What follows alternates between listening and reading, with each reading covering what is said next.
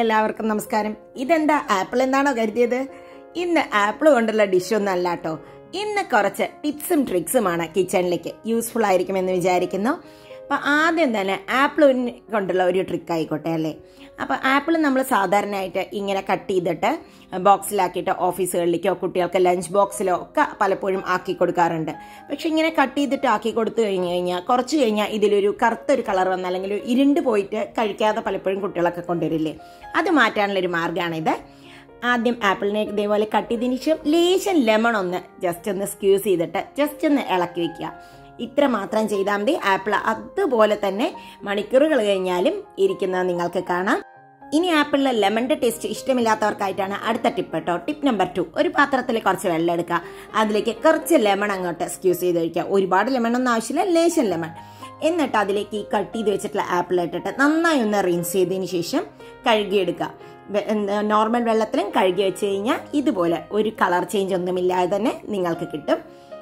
Tip number three നമ്മുടെ ഉള്ളി ചമ്മന്തിയൊക്കെ ഉണ്ടാക്കുമ്പോൾ ചിലപ്പോൾ അറിയാതെ ഒന്ന് എരിവ് കൂടി പോകില്ലേ അപ്പോൾ ആ എരിവ് ഒന്ന് കുറയ്ക്കാനുള്ള ഒരു കുഞ്ഞൊരു വഴിയാണ് കേട്ടോ.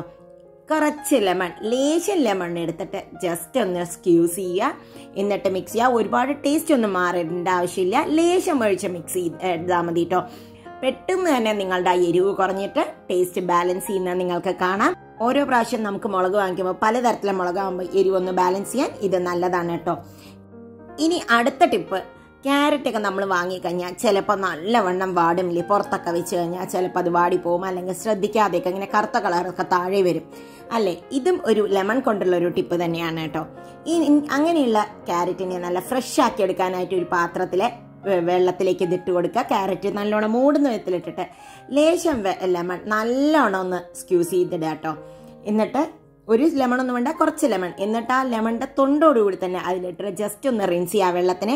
ഒരു അരമണിക്കൂർ കഴിഞ്ഞ് കഴിഞ്ഞാൽ സൂപ്പർ ഫ്രഷ് ക്യാരറ്റ് നിങ്ങൾക്ക് കിട്ടും ഇനി മുതൽ ക്യാരറ്റ് വാടി എന്ന് പറഞ്ഞാൽ കളയേണ്ട ആവശ്യമേ ഇല്ല. ഇനി അടുത്തതൊരു ട്രിക്കാണ് കേട്ടോ. നമ്മൾ സ്പ്രിംഗ് ഒനിയനൊക്കെ വാങ്ങിക്കഴിഞ്ഞാൽ ഒരു വൺ ടൈം യൂസ് അല്ലാതെ ഒരു മൂന്ന് പ്രാവശ്യമൊക്കെ ഇതിങ്ങനെ ആക്കി കഴിഞ്ഞാൽ യൂസ് ചെയ്യാം. നമുക്കതിന് സ്പ്രിംഗ് ഒനിയന്റെ ടോപ്പ് മാത്രം കട്ട് ചെയ്തെടുത്തതിന് ശേഷം ബോട്ടം ഇതുപോലെ എടുത്തിട്ട് ഒരു വെള്ളത്തിലേക്ക് ഇറക്കി വയ്ക്കുക അപ്പം അത് തനിയെ തന്നെ മുകളിലേക്ക് മുളച്ച് വരാൻ തുടങ്ങും. ഒരാഴ്ചയൊക്കെ ആകുമ്പോഴേക്കും നല്ലോണം മുളക്കിട്ടു അപ്പം നമ്മൾ ഒരിക്കൽ സ്പ്രിംഗ് ഒനിയൻ വാങ്ങിക്കഴിഞ്ഞാൽ നമുക്ക് ടു ഓർ ത്രീ ടൈംസ് ഇത് ഉപയോഗിക്കാം. ഇതിനെ വേണമെങ്കിൽ നിങ്ങൾക്ക് മണ്ണിലേക്കും എടുത്തു വയ്ക്കാം ഞാൻ ഇത് കുറച്ചൊന്ന് വലുതായി കഴിഞ്ഞാൽ മണ്ണിലേക്ക് വയ്ക്കാറുണ്ട് അപ്പോൾ കുറേ പ്രാവശ്യം കൂടി ഉപയോഗിക്കാം കേട്ടോ.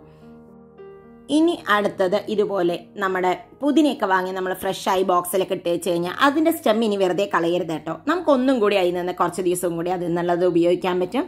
അതിനായിട്ട് നമ്മൾ എടുത്തു കഴിഞ്ഞ് കഴിഞ്ഞാൽ നല്ല കട്ടിയുള്ള സ്റ്റെം എടുക്കുക. കട്ടിയുള്ള സ്റ്റെം എടുത്തിട്ട് അതിന്റെ അടിഭാഗം ഒന്ന് ചരിച്ച് കട്ട് ചെയ്ത് കളയാട്ടോ എന്നിട്ട് ആ മുള പൊട്ടുന്ന ഒരു രണ്ട് സ്റ്റെപ്പ് വിട്ടിട്ട് താഴത്തേന്ന് മുളയ്ക്കില്ല രണ്ട് സ്റ്റെപ്പ് വിട്ട് ഒരു നമുക്ക് എഗെയിൻ ഇതിനെ കട്ട് ചെയ്ത് വെക്കാം. അടിയത്തെ നിന്ന് മുളയ്ക്കില്ല. ഈ സെക്കൻഡ് സ്റ്റെപ്പിൽ അവിടെ നിന്ന് മുളച്ചു തുടങ്ങും നമ്മുടെ. അപ്പം നമുക്ക് ഇതിൽ ഇങ്ങനെ മുളച്ചു വരുന്നതിന് വേണമെങ്കിൽ നിങ്ങൾക്ക് മണ്ണിൽ വെക്കാം. ഞാൻ ഇതിങ്ങനെ തന്നെ വെച്ചിട്ട് ഒരു രണ്ടോ മൂന്നോ ആഴ്ച കൂടി ഞാനിങ്ങനെ ഉപയോഗിക്കാറുണ്ട്. അപ്പം നമുക്ക് പുതിന ചായയൊക്കെ ഉപയോഗിക്കുമ്പോൾ നല്ല പുതിന ടീ ഒക്കെ ഉണ്ടാക്കാൻ നല്ലതാണ്. അപ്പം നല്ല പിന്നെ ഒരു കിച്ചണിൽ തന്നെ ഒരു സൺലൈറ്റ് ഉള്ള സ്ഥലത്ത് ഇടുകയാണെങ്കിൽ നിങ്ങൾക്ക് നല്ലൊരു ഫ്രഷ്നെസ്സും കിച്ചണിന് കിട്ടും അത് കാണുമ്പോൾ തന്നെ ചെടി മുളച്ച് നല്ലവണ്ണം നിൽക്കുന്നത് കാണുമ്പോൾ തന്നെ നമുക്കൊരു ഫ്രഷ്നെസ് കിട്ടും. ആ വെള്ളത്തിൽ അതായത് ഇതിന്റെ അടിഭാഗം മുങ്ങുന്ന വിധത്തിൽ വെള്ളത്തിലിടുക. ഒരുപാട് ഹൈറ്റിലേക്കല്ല വെള്ളത്തിലിടേണ്ടത്. പെട്ടെന്ന് തന്നെ അത് മുളച്ച് വരികയും ചെയ്യട്ടോ അടുത്തത് ഒരു ടിപ്പും ട്രിക്കും എന്നൊക്കെ പറയാം നമുക്ക്. നമ്മൾ വെണ്ടയ്ക്കൊക്കെ വാങ്ങി കഴിഞ്ഞ് കഴിഞ്ഞാൽ അതിന്റെ കടയും തലയും ഇതേമാതിരി. ഞാൻ കഴുകിയതിന് ശേഷം കടയും തലയും നന്നായി കട്ട് ചെയ്തതിന് ശേഷം ബോക്സിലിട്ട് വെക്കാറുണ്ട് കേട്ടോ. കടയും തലയും കളഞ്ഞ് വെച്ച് കഴിഞ്ഞാൽ പിന്നെ ഇത് ഇത് മൂക്കില്ല. അത് മാത്രമല്ല നമുക്ക് കുക്ക് ചെയ്യാൻ ഭയങ്കര ഈസി ആയിരിക്കും. ഞാൻ കഴുകിയതിന് ശേഷമാണ് ചെയ്യുന്നത്. അത് കഴിഞ്ഞാൽ അതിന് ഇതാ ഇതുമാതിരി അതിനുള്ളിലെ വെള്ളവും കൂടി കളഞ്ഞതിന് ശേഷം വെച്ചാൽ നിങ്ങൾക്ക് കൂടുതൽ ദിവസം ഫ്രഷ് ആയിട്ട് ബോക്സിലിരിക്കും. കൂടാതെ അത് രണ്ടാമത് ഒന്നും കൂടി മൂത്ത് പോവുകയും ഇല്ല കേട്ടോ.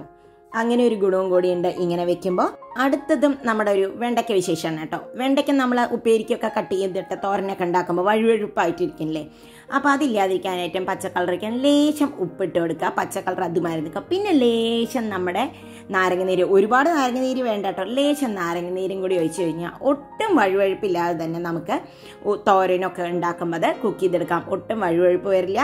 അങ്ങനെ ഒരു യൂസും കൂടി ഉണ്ട് നമ്മുടെ ലെമൺ കൊണ്ട് ഉപയോഗിക്കുമ്പോൾ അടുത്ത ടിപ്പ് നമ്മുടെ വെജിറ്റബിൾ കൂടുതൽ ദിവസം കേട് വരാതിരിക്കാനാണ് കേട്ടോ. അപ്പം ഞാൻ ലുലുന്ന് ബീൻസ് ഒക്കെ വാങ്ങിയിട്ട് വരുമ്പോൾ ആ കവർ ഞാൻ എപ്പോഴും എന്താ ചെയ്യുന്നതെന്ന് പറഞ്ഞു കഴിഞ്ഞാൽ അതിൽ അതൊന്ന് കഴുകിയിട്ട് വെള്ളമൊക്കെ കളഞ്ഞിട്ടാണ് വെക്കുന്നത് എങ്കിലും അത് പിന്നീട് നമുക്ക് പിന്നെ പിന്നെ എടുക്കുമ്പോൾ എപ്പോഴും ഒരു വെള്ളത്തിന്റെ ഒരു നനവുണ്ടാവും. അത് ഇല്ലാതിരിക്കാനായിട്ട് നമുക്ക് എന്ത് ചെയ്യാന്ന് പറഞ്ഞാൽ ഓരോ പ്രാവശ്യം ഇപ്പോൾ തക്കാളിയോ ഇതോ ആണെങ്കിൽ ആ കവറിനെ ഒന്ന് തിരിച്ചിട്ടതിന് ശേഷം അതിലേക്ക് ആ വെജിറ്റബിൾ ഇട്ട് കൊടുക്കുക അപ്പം നമുക്ക് ഓരോ പ്രാവശ്യം ഇങ്ങനെ ചെയ്യുമ്പോൾ കുറേ ദിവസം കൂടി നമ്മുടെ വെജിറ്റബിൾ കേട് വരാതിരിക്കും കേട്ടോ.